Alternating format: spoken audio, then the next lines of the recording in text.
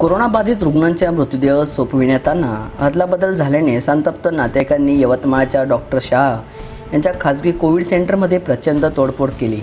आज दुपारच्या एक वाजेच्या समोरास ही घटना घडली. वेस्टर्नात बंद केलेल्या एका मृतदेह नातेवाईकांना सोपविण्यात आला.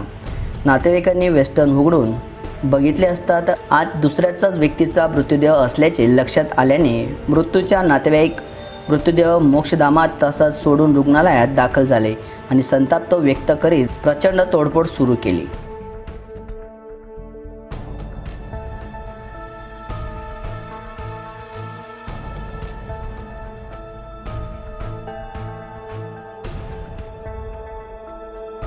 आवाज टी व्ही अनिल राठोड उमरखेड यवतमाळ.